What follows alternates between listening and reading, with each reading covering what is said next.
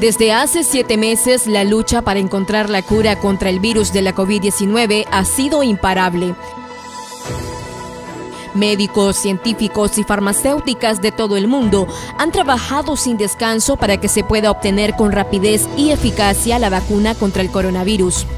Pero, ¿quiénes serían los primeros países en obtener la vacuna de la COVID-19?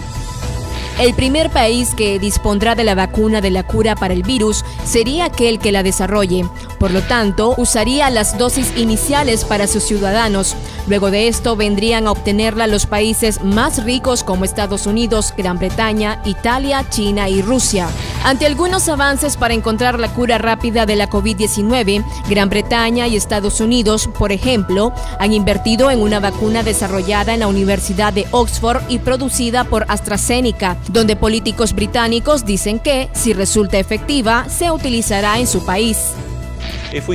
Si podemos conseguir una vacuna efectiva, seremos capaces de vacunar a un gran número de personas porque podemos fabricar esta vacuna a gran escala y eso hará que la gente pueda regresar a su vida normal con suerte luego de ser vacunadas. Distintos grupos como la Alianza de Vacunas Gavi están trabajando también para comprar dosis para países pobres, donde también la Organización Mundial de la Salud está creando directrices para la distribución ética de vacunas contra la COVID-19.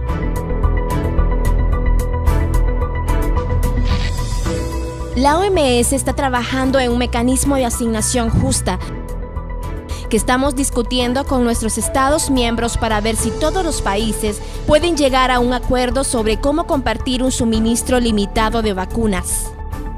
Por otra parte, China destinará mil millones de dólares en créditos para vacunas en América Latina, donde esta inversión será distribuida para acceso de las vacunas y medicamentos. Esta vacuna fue desarrollada conjuntamente por el Instituto de Productos Biológicos de Beijing y el Instituto de Productos Biológicos de Wuhan, bajo el grupo Sinopharm. Se podría decir que ya es un éxito. Rusia, por su parte, realizó una presentación de una vacuna que vendrá a facilitar la compra para América Latina y el Caribe, demostrando así la disposición para que los países con menos posibilidades la obtengan de manera inmediata y segura.